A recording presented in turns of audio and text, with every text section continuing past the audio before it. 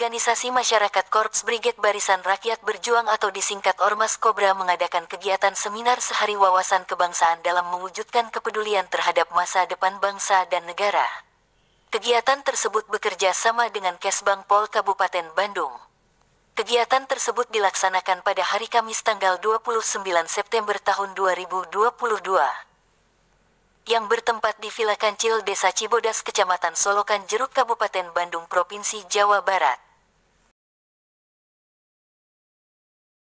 Eh, tapi eh, kami tentunya sebagai apa eh, DPP Kobra kami di apa di pengurus harian Pak Ketua Umum pengurus harian yang mewakili memang dari tiap kabupaten ada Jawa Barat Insya Allah kami juga akan nanti mudah-mudahan dengan izin Pak Bupati akan kami melaksanakan bela negara karena dua tahun ke depan ini menjelang politik tentunya mungkin dari sisi apa eskalasi politik sangat tinggi sehingga kami juga insya Allah akan mempersiapkan.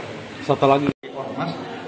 Tidak memasuki dalam bentuk area secara detail, tapi kami memasuki dalam bentuk uh, tentunya informasi uh, yang apa saja yang dalam kita. Tapi ke depan akan nanti insya Allah kami akan berlanjut karena uh, or ormas Okubra ini memang nuansanya berkiprahnya tentunya tetap berkiprah ke pemerintahan dalam arti melakukan nanti proses bela negara. Bela negara ini kami juga masyarakat yang ada nanti bergabung uh, kurang lebih mungkin kita koalisi 50 orang juga orang-orang yang nanti khususnya apakah itu mungkin kelompok-kelompok uh, yang non radikal sendiri pemerintah daerah Kabupaten Bandung tapi juga didukung oleh media akademisi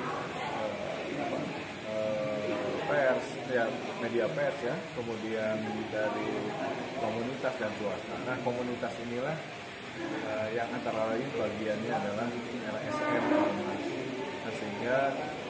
dan LSM ini bagian yang sangat penting dan bagian dari uh, penyelenggaraan pemerintahan sisi lain sebagai pengawas tapi sisi lain juga sebagai penunjuk dalam kegiatan yang dinamakan Wawasan Kebangsaan ini dihadiri oleh Bupati Bandung yang dalam hal ini diwakili oleh pihak Kesbang Pol.